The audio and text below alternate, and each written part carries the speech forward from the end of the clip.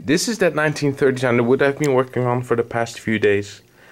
And in an earlier video I posted that I had a problem with transferring one uh, platen and support rollers to the other carriage. I had an extra carriage that I got with this machine, which you see over there. Um, the problem was when I got this machine, the feed rollers and the platen were in very bad condition. The feed rollers more than the platen.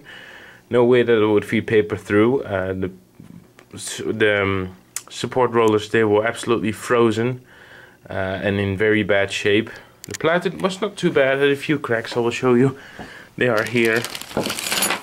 This is the platen. You can see it has like very small cracks forming. Um, and it has a couple chips. Now, if these the cracks weren't my issue, it was the chips. As you can see, there's one over there, and there's another one over there, and over there.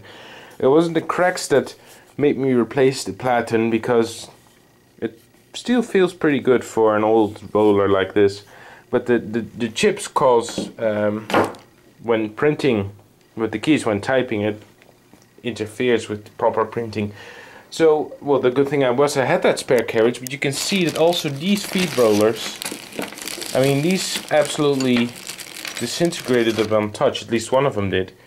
Now you can see that this isn't really what it should be. You can see that they're in very bad shape. Um, one of them actually disintegrated when I tried to remove it, as you can see. That's all the pieces you see in there.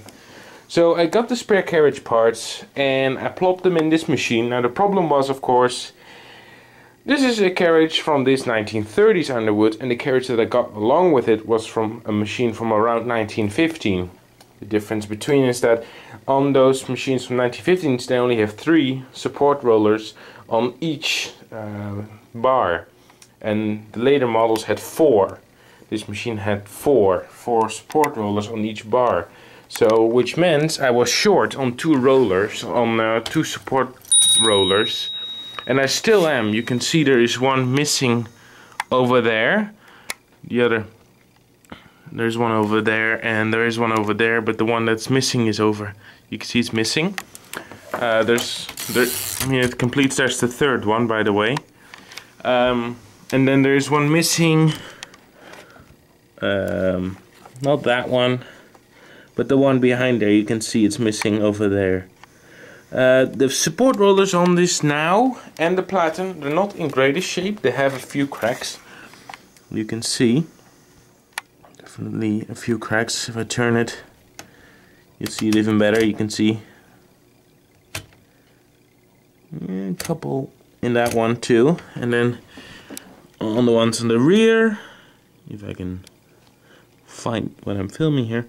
Ah, there we go. You can see that, I mean, it, it doesn't look very healthy, but they feel and work a lot better than what they look like. Once I get my camera focused, I'm sorry. You can see they still turn properly, although they have their cracks. You can see that's the one that's missing.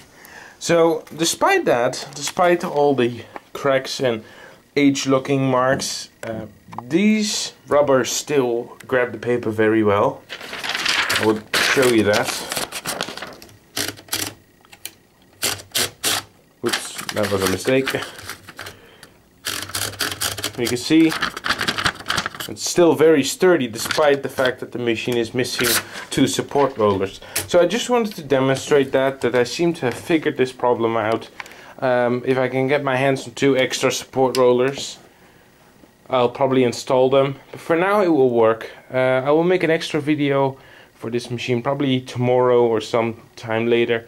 Uh, once it's finished, I just have to install the front plate, uh, which I was missing its decals, but I'm having them redone. A little bit uh, unprofessional, but I will show you that then when it's, it's once it's finished. Anyway, thanks for watching. I hope this wasn't terribly boring, but I just wanted to give an update. Bye bye.